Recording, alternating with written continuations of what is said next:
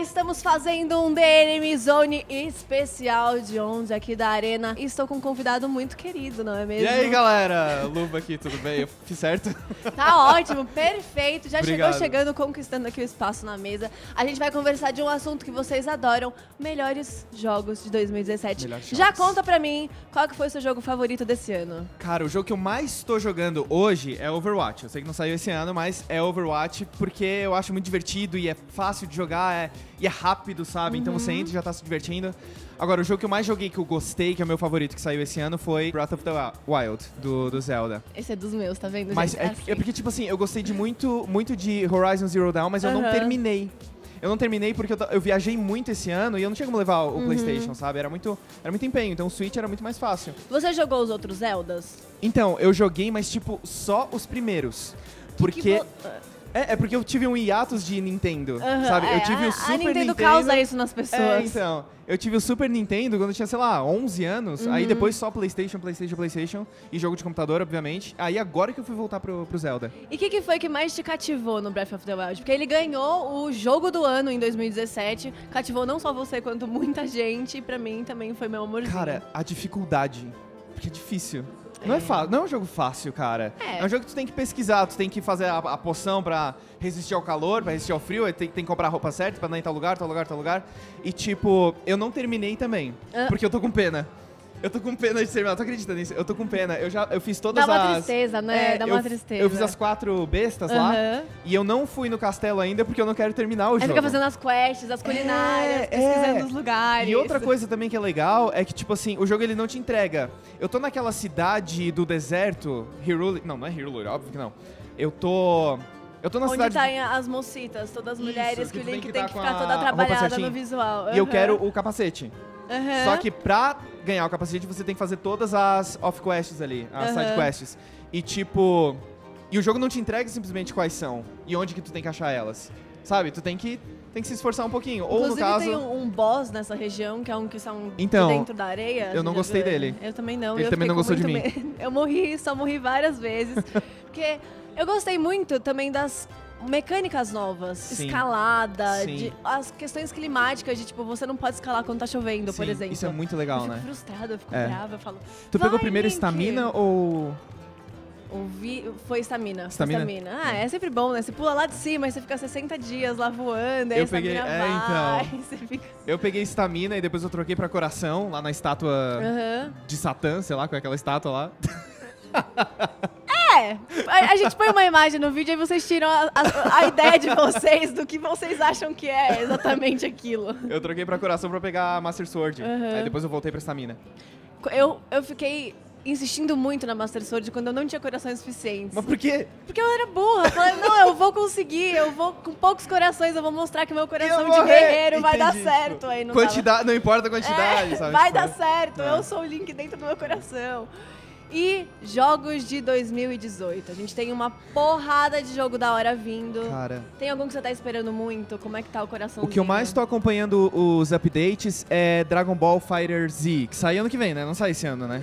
É, se eu não me engano, o lançamento oficial é ano que vem, mas a É. gente já tem uma prévia dele aqui, inclusive na CCXP. Poxa, então foi muito boa a ent- a entrevista aqui, né? Vai embora jogar. eu acho que esse é o que eu, tô, que eu tô mais acompanhando, assim.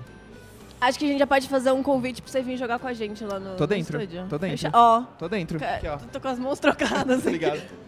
Tá ao Tudo vivo certo, aqui, ó. tá ao vivo, gravado. O Luba vai vir jogar Dragon Ball com a gente. Então é esse o jogo que você tá esperando. Acho que é, cara. Quais os outros, assim? Eu tô, eu tô Você muito... tá ansioso pelo God of War? Qual? God of War. Ah, Que sim, tá mas tipo, mas vai dele. sair logo, porque tipo assim, já virou lenda, né? É, tá aqueles boatos de tipo, ah, será que vai ser em março? Será que vai ser em dezembro? Mas Aí a vai sair em sabe 2018. Quando, cara. Eu comprei o remasterizado agora Uhum. recentemente, joguei tudo, terminei. God of War, tipo, foi o que eu mais joguei na minha adolescência. Aham. Ah, God of War e Guitar Hero, era o que eu mais jogava. Guitar Hero é muito bom, né? E. Não, e eu tô afim, né? Eu tô afim, mas quando, né? É, ó, Acelerar fica aí aí, a pô. dica. Manda logo essa data de lançamento Pelo pra de nós, Deus. por favor. E já vou aproveitar, porque eu acho que é um título que você gosta, The Last of Us Parte 2. The Last of Us, cara, eu que não comecei. é confirmadão pra 2018, né? Aham. Ainda tem aquelas névoas de que pode Mas ser mais pra Tu frente. acredita que eu não terminei esse jogo? Por que, que a gente tá gravando com Por ele que, que a mesmo? gente tá gravando? Mas sabe o que aconteceu? Eu assim, ó, eu fiz uma promessa pra mim mesmo. Eu só vou jogar The Last of Us quando eu gravar. Ah, entendi. Eu gravei literalmente durante duas horas seguidas. não gravou nada.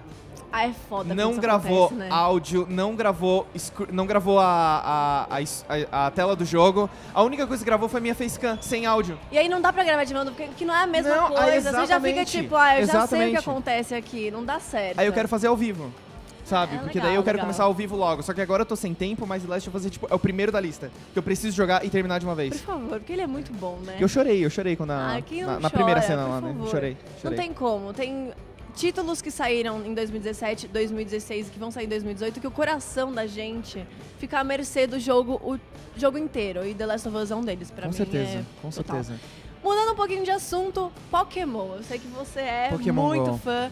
Pokémon GO recebeu algumas atualizações, o mapa mudou completamente, porque eles saíram legal. do Google Maps e foram para um mapa de cooperação da Então. comunidade. Como é que tá? Porque assim, eu não jogo tanto, então você é o Aham. especialista aqui da mesa. Eu jogava muito mais. Uhum. Eu tinha dado uma parada, parada mesmo, assim, de não abrir o aplicativo por, sei lá, três semanas e tal. Aí quando lançaram as raids, aí eu achei Aham. muito legal. Assim, poxa, agora sim a gente tá se juntando pra jogar, pra fazer uma coisa Sim, juntos e é tal, derrotar verdade. e ter uma chance de capturar o Pokémon, foi muito legal. Só que a febre acabou rápido pra mim também. Foi, mas é porque eu sinto que aqui no Brasil as pessoas também têm um pouco de medo, às É, vezes. de, então. né? E eu Não é moro, medo, eu moro em Tubarão, Santa Catarina. Agora Tem é, bastante gente que joga lá? Tem, tem. Eu, tinha, eu tava em vários grupos de WhatsApp, assim, que a gente se, se juntava. Cara, vinha raid às 6 horas da manhã. Vamos, galera, seis horas pra pegar um Pokémon. A gente ia. Pegou gente vários ia. lendários. Só as aves. Eu não peguei o, Já do, o- o das bestas, eu só peguei o Raikou. Eu não peguei nenhuma. Não pegou nenhum? Nenhum? É. Mas então, eu Triste. achei legal as mudanças, porque, tipo assim, dá um, dá um gás novo pro jogo. E, mas, mas sei lá, cara, ao mesmo tempo eu penso assim, nossa, só agora? Mas que demora, É, sabe? Porque tem muita gente que tava falando que já precisava ter interação entre os treinadores. Claro. Troca, batalha e tal. Batalha, assim, agora troca, eu tenho uma opinião meio controversa. Porque eu acho que trocar vai acabar com o jogo. É, porque, é tipo assim, é muito, vai ser muito fácil completar a Pokédex daí. E porque também tem gente que dá uns jeitinhos de conseguir uns pokémons que não tem É, como. né? E aí, é. já, aí perde a graça. Aí você É, não a é um gente- treinador de verdade. Exatamente, a gente não gosta dessas pessoas, não. Pra fechar, vamos deixar uma grande, um pensamento pra 2018 do que, que você acha que é o- o a receita de sucesso pra um jogo conquistar 2018, como conquistou 2017 foi o Breath of the Wild. Hum. Pergunta difícil, né? Desculpa. É difícil, é porque Zelda já é uma franquia muito nostálgica ao mesmo tempo, né? Pra- É. pra mim é totalmente nostálgico. Sim. E, e ao mesmo tempo ele é legal pra quem tá começando a jogar agora. Quem Aham. jogar Breath of the Wild vai gostar, mesmo nunca tendo jogado Isso é nenhum... algo que eu, que eu entrei numa discussão. Será que as crianças da geração de hoje, se jogasse o Ocarina of Time e o Majora's Mask, gostaria tanto quanto gostou do Breath Hum. Provavelmente não. Não the Wild? Fora sei. que elas morreriam de medo daquela lua, porque até hoje eu tenho medo A dela. lua... eu E não do nada tu leva, um, tu leva um trovão E na cara, a mano. cara assim, vem É. e você fica tipo... Cara, mas sei lá, eu gosto muito, de- eu gosto muito dos jogos de The Walking Dead também, da Telltale. Aham. É, New Frontier foi um dos meus favoritos. Eu, eu gosto mais da primeira e da segunda temporada, Uhum. mas New Frontier me deixou muito feliz também e muito satisfeito. Mas eu acho que acho que tem que ter um apelo emocional, como Zelda tem. Zelda tem um apelo emocional, pela nostalgia, eu acho. E cara, tem, tem que ser legal, mano.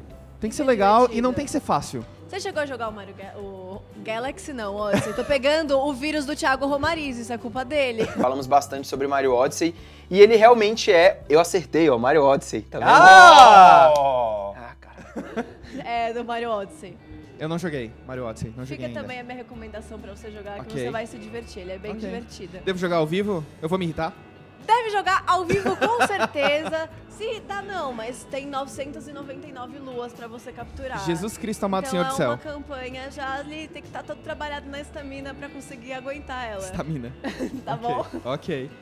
É isso, galera. Esse foi o nosso Enemy Zone especial com um convidado muito querido. Obrigado. Já fica aí o desafio dele vir jogar com a gente no futuro. E pra você saber de tudo sobre o mundo dos jogos e esportes, é só você entrar no site do DNM e se inscrever no canal. E, claro, acompanhar o canal do Luba também, Obrigado. que ele faz uns conteúdos Obrigado muito pelo convite. bacanas. Obrigado. Obrigado. Obrigada eu.